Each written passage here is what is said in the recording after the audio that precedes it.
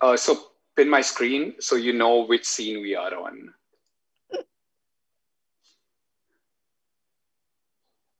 Good evening. Hi, everyone. Welcome to the New Commons for the launch event for Dimensions Volume 33. My name is Christian Unverzagt. I'm an associate professor of practice in architecture at Taubman College, and I'm the faculty advisor for Dimensions. Dimensions is a student produced journal of architecture at Michigan, published annually since 1987. It's a remarkable achievement for any publication, let alone a student journal. I've been the advisor since volume 17. So this volume actually puts me over the halfway mark in this role. Uh, Dimensions 33 was designed and produced during the 2019 uh, 2020 academic year, which was, as we all know, interrupted in March with a move to remote online instruction. Despite the disruption, work on the journal continued and it was completed at the end of the term and went to press in May. Dimensions 33 includes select student work in the form of MArch thesis, undergraduate Wallenberg Studio, Masters of Science work from 2019, along with uh, work from the ASRG, the Architecture Student Research Grant work from 2020.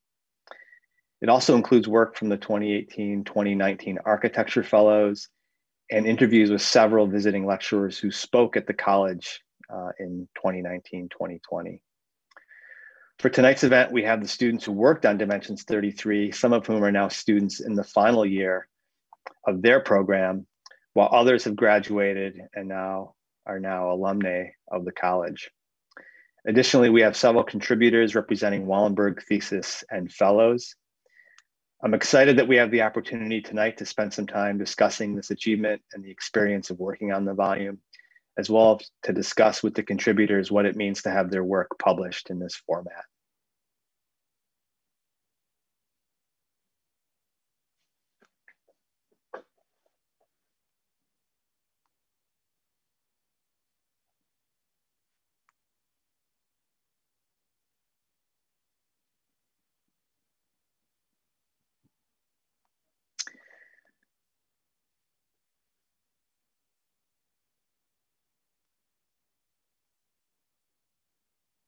I guess sit back, relax, and enjoy the show.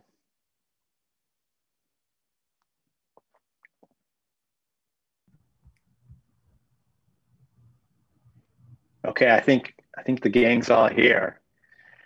Um, can people introduce themselves?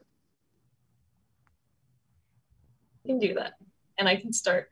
Um, my name is Rachel Scoff.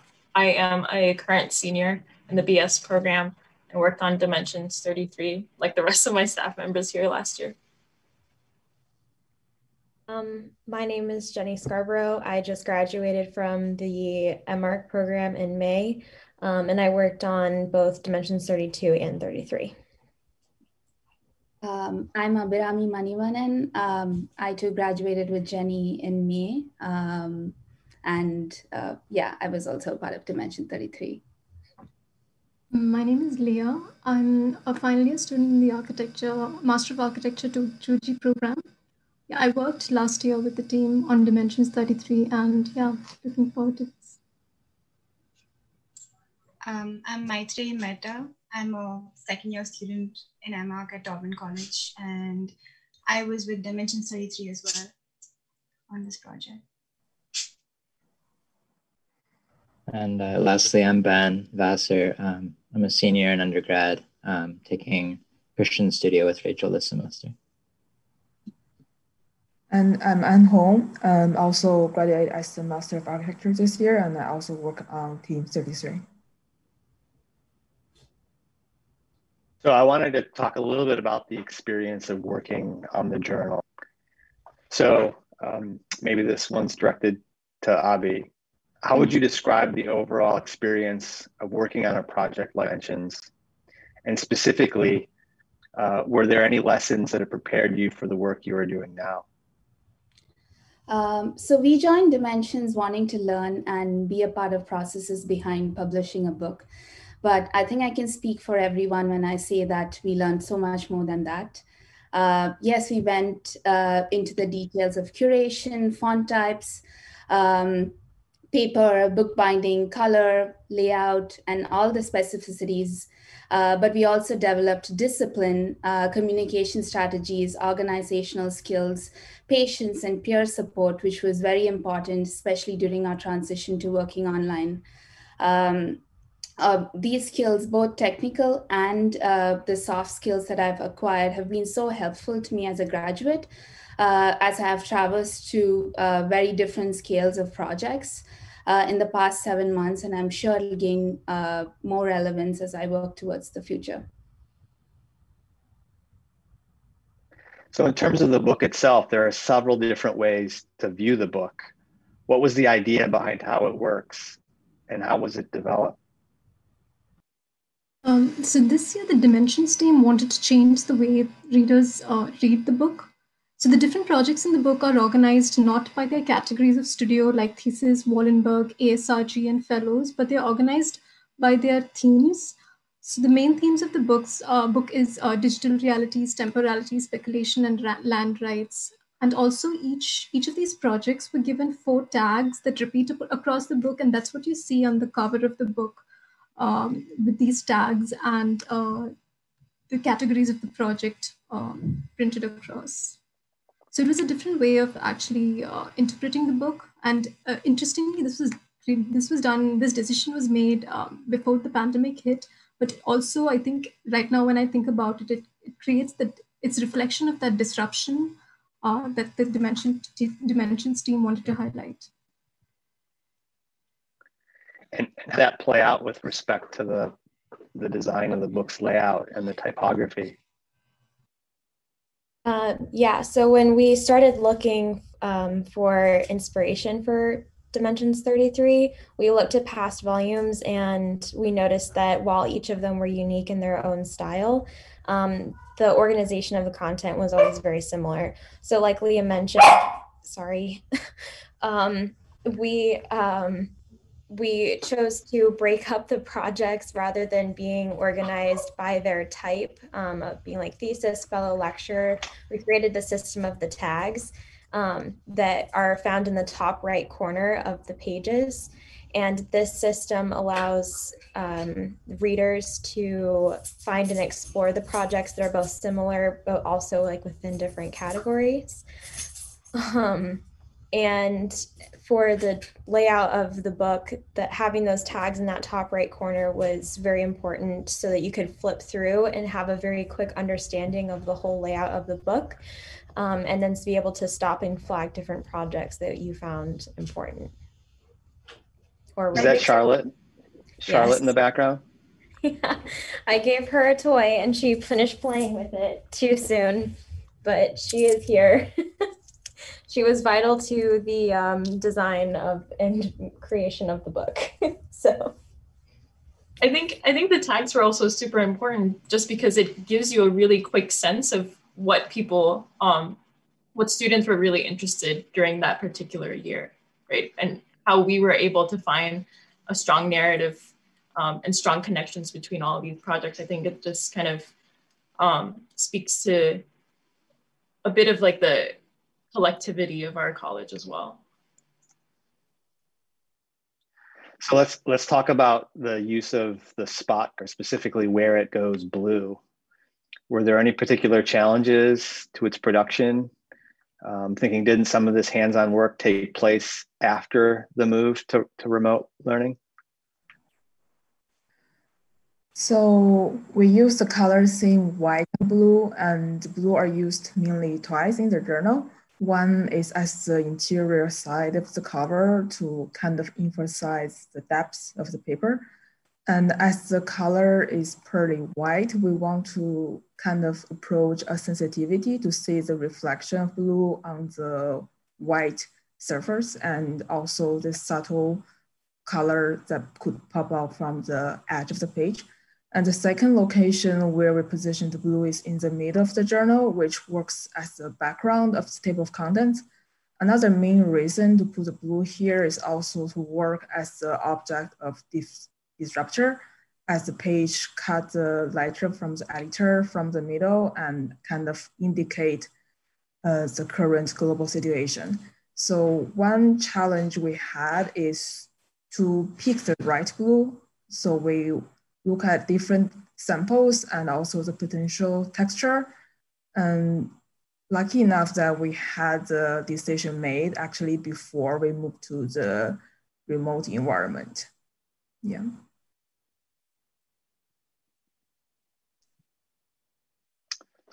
So how were the interviews conducted and what were the challenges in presenting those conversations within the journal?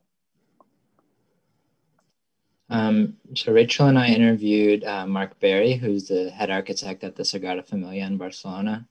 Um, and obviously we had some questions prepared, but um, talking to him for an hour, the conversation kind of dovetailed into um, other areas of interest, um, which included him making some um, value judgments about like national borders and universal basic income. And so I was really careful to edit that text down. And then corresponding with him afterwards, um, there are 23 email correspondences between us, um, just making sure that he's not being represented in a way that he doesn't want to be.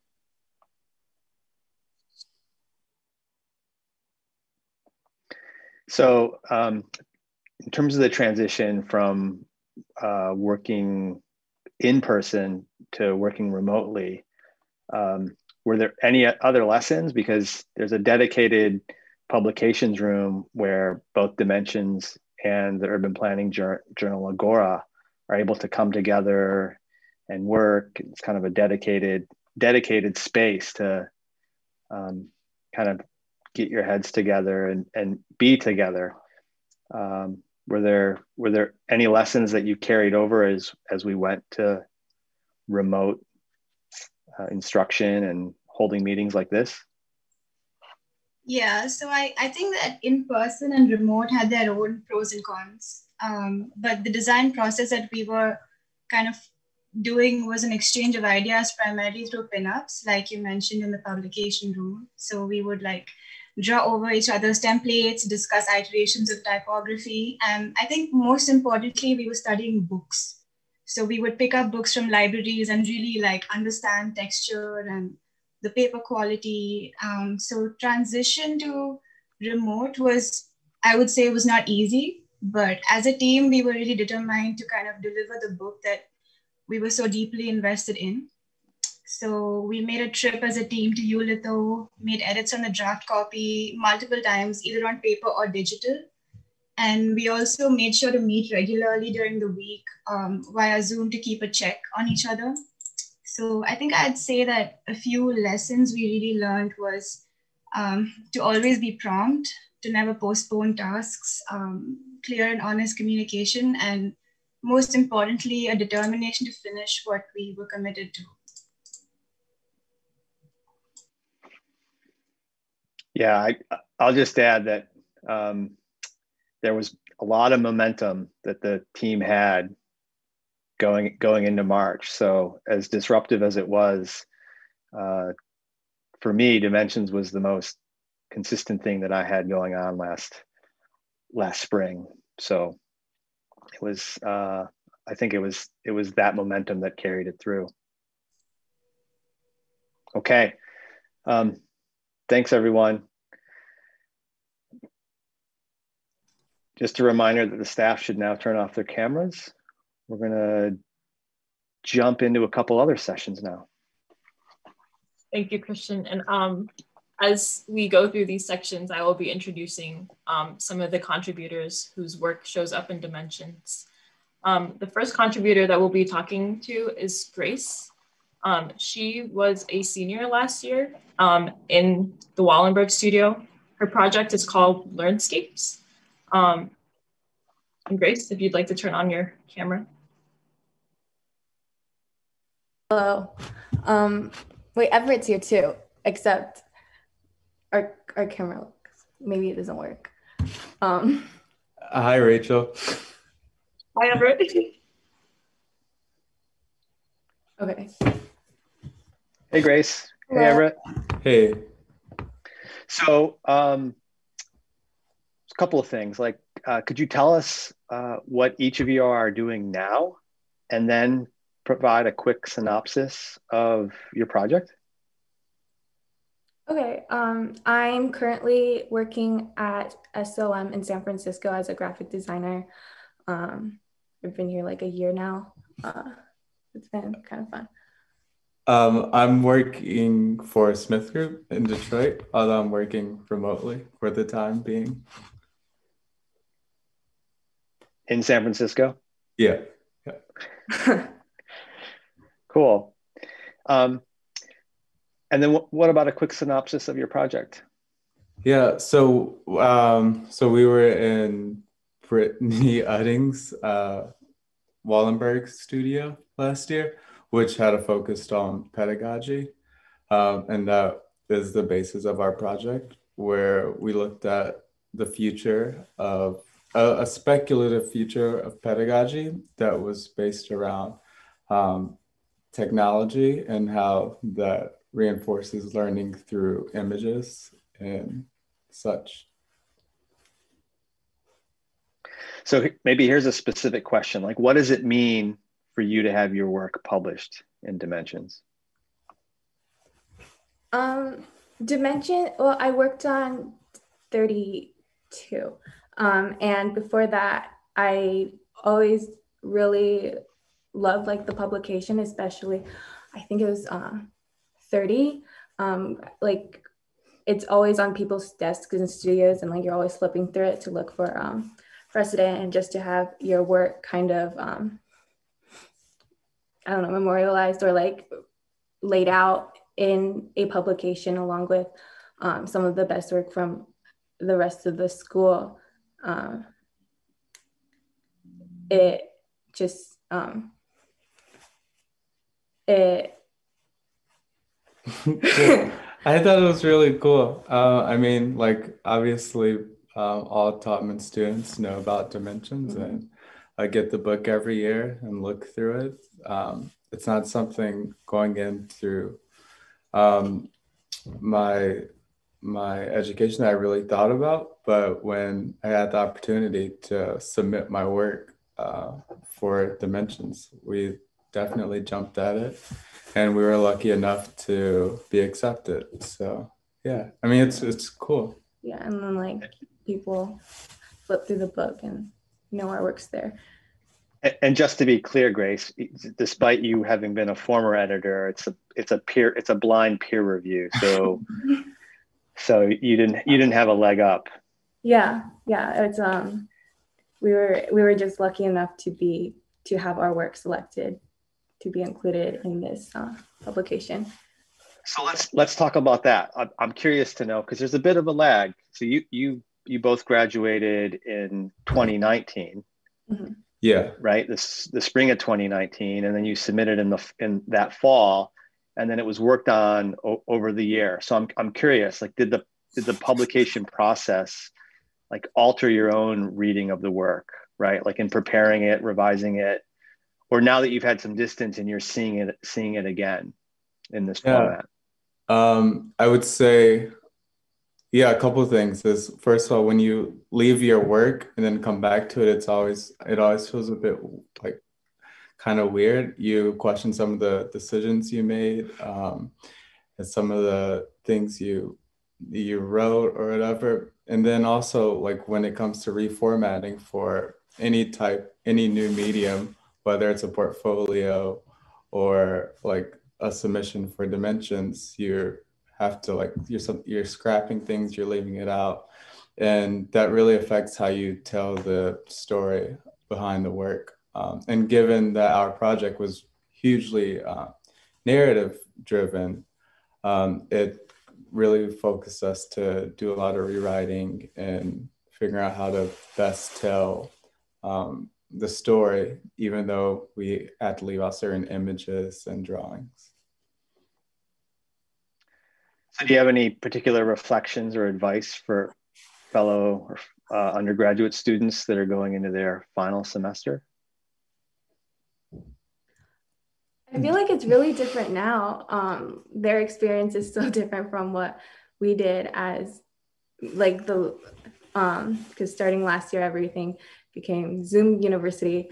Um, but uh, when we were looking through the book, we were um, like mentioning how our work sits on a page because when we were um, when we were working on our final drawings and final production materials, we were working on them for like a, a wall. So all our drawings were at like three, were like four feet wide, and um, how they sit on a page now, like you mentioned earlier, maybe this isn't that yeah. relevant. Something I've been reflecting on pretty recently is um, when it came to uh, like the research that went behind uh, the project. I wish we had taken more time to effectively um, present that as much as the synthesis of the work. Mm-hmm. Um, mm. so I think, yeah, I would, if I were to give like one piece of advice, it's to maybe take as much time or um, be as thoughtful with presenting the research and background um, with presenting the design and synthesis. Time goes quick. So sounds like be sure you don't let it get by you, right? yeah.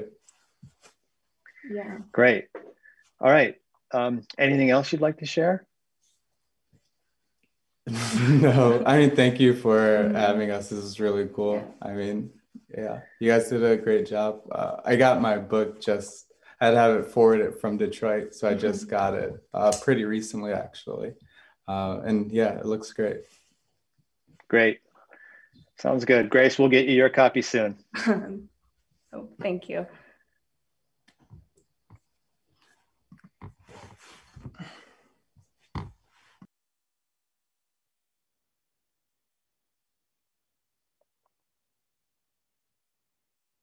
Thanks so much, Grace and Everett. I, I miss you guys both greatly. Um, our next um, contributor that we'll be talking to is Jordan Laurila.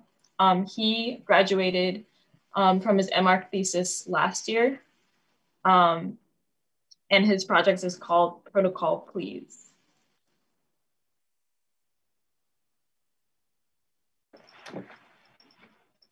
Hello, hello. Hi, Jordan. How are you, Christian? I'm doing well. Nice to see you. Yeah. So you probably are getting a sense of the of the drill here. Yeah, It'd be I helpful. Am. I, I I think for you to to tell us what you're doing now, um, and then just give us a quick synopsis of your thesis work. Yeah, of course. Um, so I, for about a year now, I've been working at KPF uh, in New York. Although in pandemic times, I've moved back to Atlanta, which has been fortunate. Like got some work to do in Georgia, us Democrats. So that was nice. Nice to be back in the state for that. Um, but yeah, working for KPF. On my first day, I strolled into the New York office, ready to start like a New York life. And I sit down at my desk and they're like, oh, Jordan, by the way, you're on the University of Michigan project.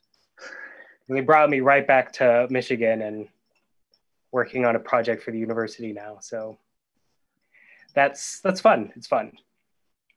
Um, and my project, yeah, protocol, please.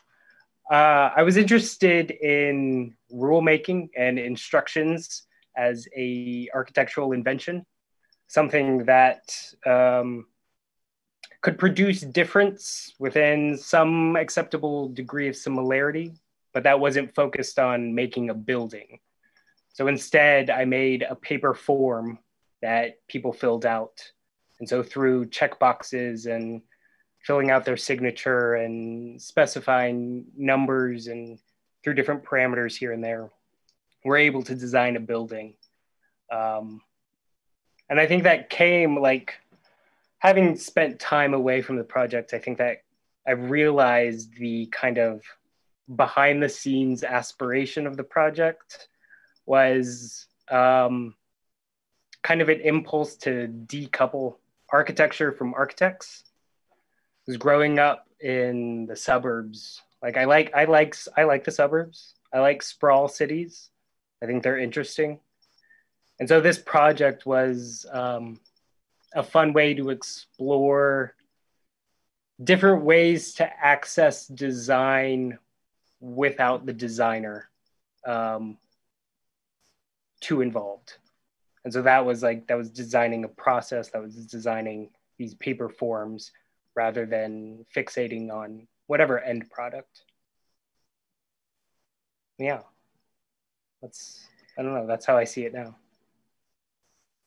Um, and and uh, in ter- in terms of seeing it it again, like um, I mean, you've uh, like like Grace, you also worked worked on former volumes of Dimensions. Maybe maybe are one of mm-hmm. only a handful of people that that worked on it um, for for two years uh, mm-hmm. together. So what's what's it what's it like for you to have like have stepped away from that role and then participated on on the out on the outside, so to speak? Um, I think it made the process of um, looking at my project again months after thesis had ended so much simpler that months later I was able to reopen all the project files and I don't know also because I had time apart that helps of course too but having been on the staff for two years and working with uh, projects in this kind of format, it was super helpful for me when I was submitting to be like, oh, this is this is the most productive way to format the project. This is the simplest. This is the easiest, and it streamlined uh, the submission process for me. And I think that's actually a skill that's come very much in handy, like at work. Um, because I do a lot of the presentations for work, and that's it's definitely a valuable skill that's translated well to professional life. So yeah.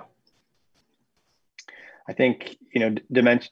I think part of dimensions is that it, it prides itself in being able to present a project in its in its entirety. It's not yeah. it's not a catalog of of of um, an entire year's output at an institution. It's not uh, necessarily representative of every studio at every every level but it's but still architecture students can produce a whole lot of stuff in in a year so i'm curious in terms of just um, like distilling the work and and pairing kind of paring it down determining what's what's essential and what's like how it finds its way into that format um, you know as as a as a former mm-hmm. ed- editor do you think that allowed you to to anticipate that or did um, you know did the kind of interaction with with the with the the editors um, like have a have a say in that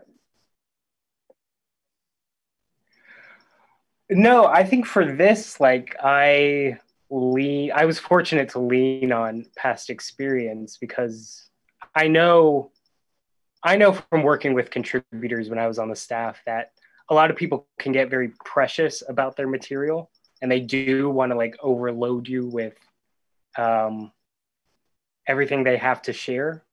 And it can be a lot in many instances.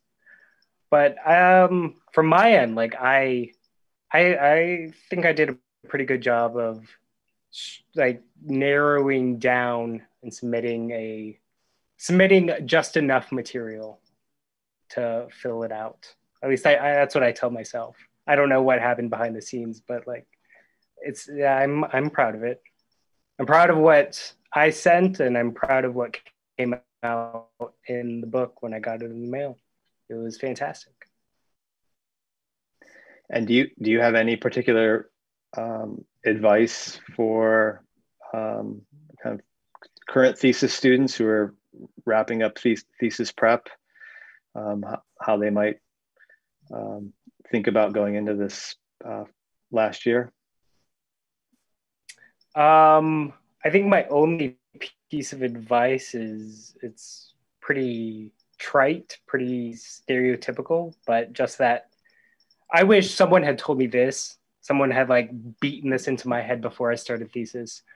But um, good work doesn't depend on you killing yourself.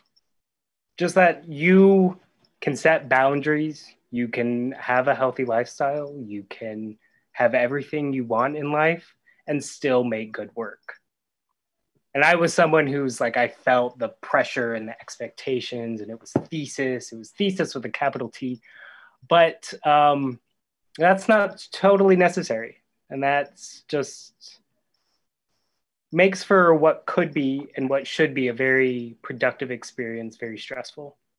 So maybe I'll be the first one to tell prospective thesis students it, it's not that big of a deal. You get a full night's sleep. Just just get a full night's sleep. That's it. Have breakfast. You'll still make good work. There's a good chance you and other students have been told this before and just didn't weren't able to hear what was, what you were being true, told. True. So yes, very much. Yeah. Okay. Um, anything else you would care to share? Um, I no, I feel I feel satisfied. Anything else you care to ask? But you know, I loved getting the book in the mail. It was a fantastic book. It was striking, and um, it was great to um, see the projects organized in such like a radically different way. That was refreshing, and so I applaud the staff for doing truly a great job with this. Great. All right. Well, thanks, Jordan. It was good seeing you. Take care.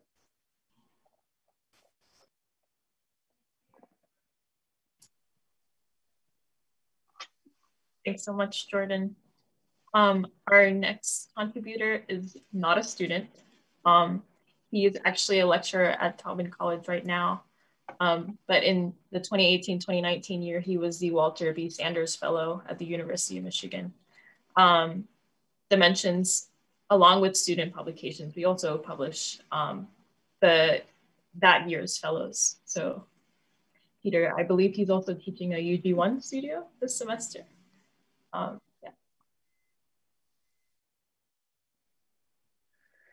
So uh, yeah, Peter, um, good to see you. Good to see you as well, Christian. Thanks for having me, uh, and to the whole Dimensions team for for inviting me. Yeah, no, certainly. I think um, you know the the fellowship program at the college uh, plays a really important role in the in the pedagogy of the school and it's kind of lo- like livelihood.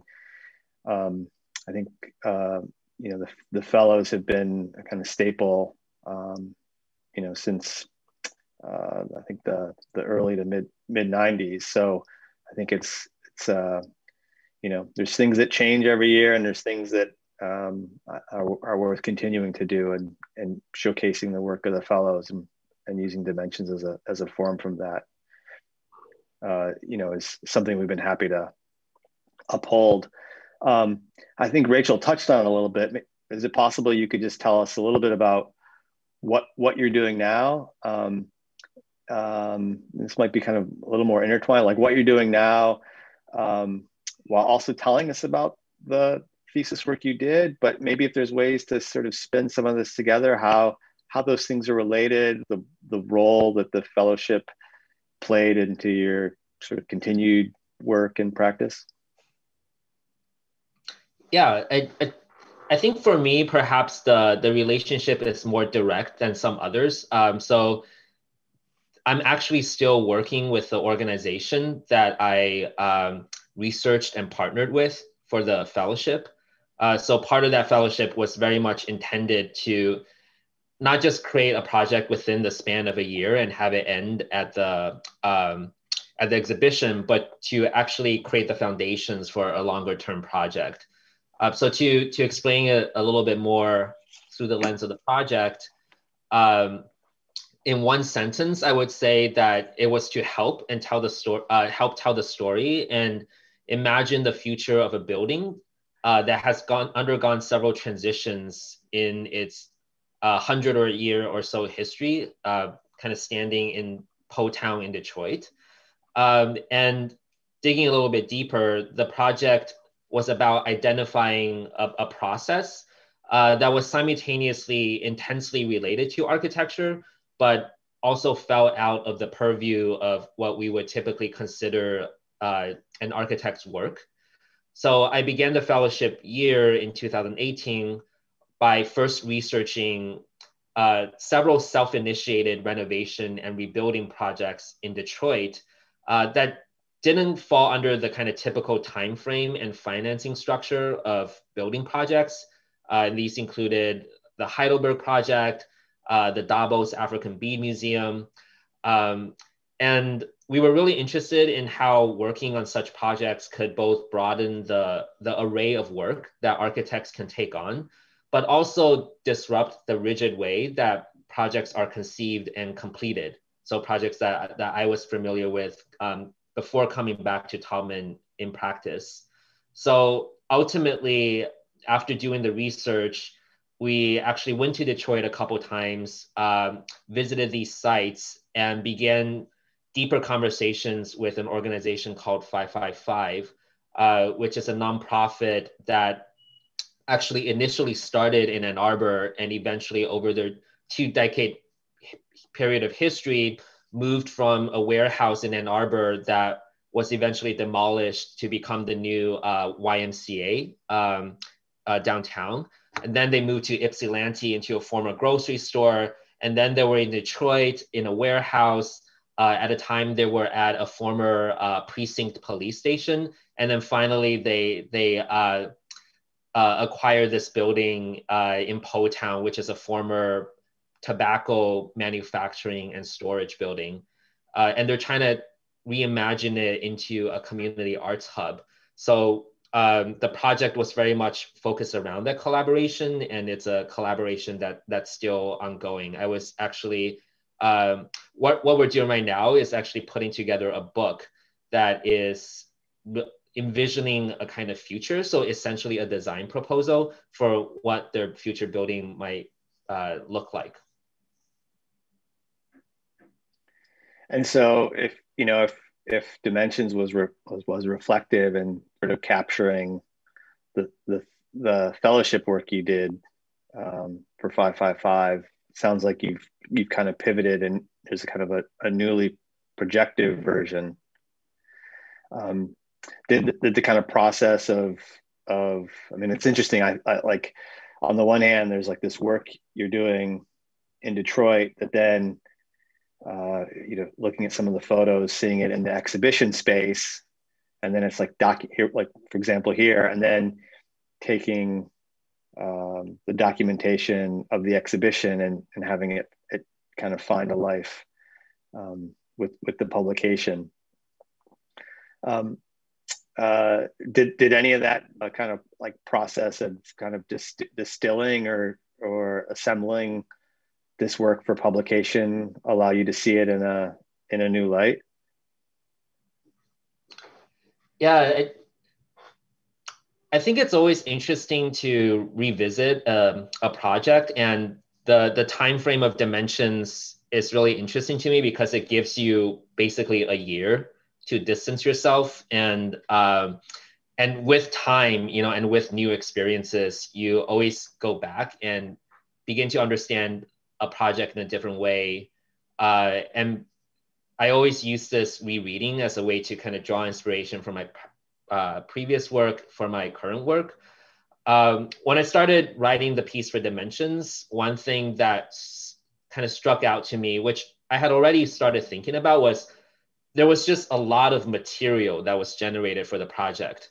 Uh, first, there were all the historic documents that we found uh, around Detroit's early 20th century tobacco industry, uh, images of Poletown, which we researched. We had this kind of amazing, highly detailed Sanborn map that showed the original use of the, the tobacco building uh, broken down by level. And that's before we even get to the material related to the building itself, uh, our installation process, and then um, what 555 does as an organization. Uh, so being able to kind of create this piece for dimensions was to think about um, what allowed me to think about how to curate uh, one narrative of the the story that perhaps is kind of best told to the audience that reads dimensions. So the architectural community but also the students the faculty uh, uh, at michigan. Um, and ultimately, uh, what I thought was really interesting about how the piece turned out was that it made us it made a claim for that the project was didn't really exist in kind of one uh, instantiation or or one proposal at, at, that but that the project really existed um, kind of in between all this diverse material but at the same time was still held together by a central idea a, a kind of collective theme. Uh, so the writing the piece and kind of even going back and looking through all the material was was really helpful in formulating that. Hmm. That's pretty interesting. Maybe maybe along those lines, um, you know, given the the career arc you've taken and had the opportunity to um, do this work, reflect on it, and then still still be working on it in in new ways. Um, is there any any advice uh, uh, you, you might offer students of architecture that are that are looking for ways to uh, kind of advance or take a non, non-traditional route with respect to their education and their career? Yeah, there's, uh, I can think of a lot of advice, uh, but maybe to kind of distill it here and to relate it to dimensions. Um, and this took a lot of just trying out and collaborating and, and working. But over the years, I've become increasingly interested in uh, not thinking of architecture as residing within the single building proposal. It's it's not like I think there's really an emphasis on the the building itself or the proposal itself representing all of um, your identity and your contribution as an architect uh, but over time, I really have been interested in all these other mediums and uh, other ways that architects communicate. Um, you know, through the written essay, um, a really foundational experience I had was working on a book myself uh, that was recently published.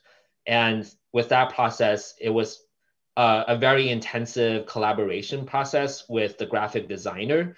And it was just really interesting to begin to understand their world and see how they treated the book in the same way that we treat in a piece of architecture. So thinking about its structure, its layout, its style, the way that it's either in conversation or kind of in dialogue with other books that preceded it.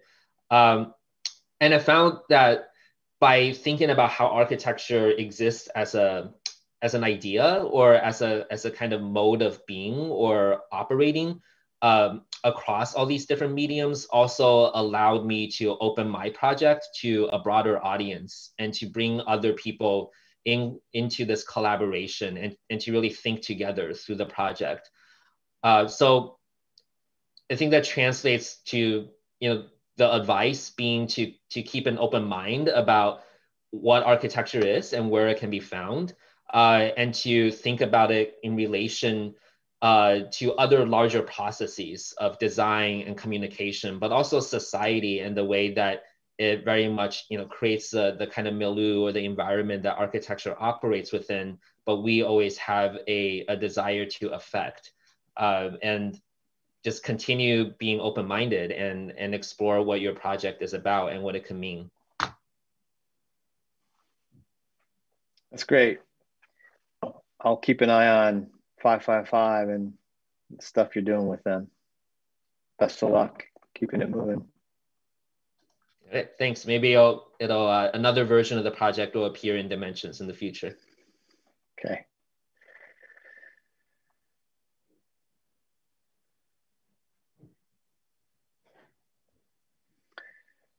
All right. Um, so uh, I have a few announcements to make. Um, thanks for tuning in tonight. I want to thank everyone for for joining us. I hope it was hope it was uh, hope it wasn't too painful. Um, I'd especially like to thank Ishan for his work behind the scenes to make this presentation possible. Um, the Dimension staff, it was great seeing everyone together. I joked it looked a little bit like the Brady Bunch with, with the blue backgrounds earlier. Um, and of course, the part, uh, the contributors for participating as, as well. Um, a couple things in terms of how to get copies, your, your copies of Dimensions 33. So we mailed copies to all 2020 graduates of the architecture program, um, as well as to all contributors towards the end of summer, um, maybe a little bit into fall. If you haven't received a copy, um, just reach out to me or uh, Dimensions, and and we'll look we'll look into it. We all know there's been some issues with the post office uh, this fall. Um, current students in the architecture program are entitled to a, a complimentary copy. We set copies out in the commons at at school last week, and some people were able to get them um, last week and this week. Um, that's probably no longer possible for the remainder of this term. So we'll make arrangements next term to get copies to students one way or another. I guess if 2020's taught us anything, it's to be flexible.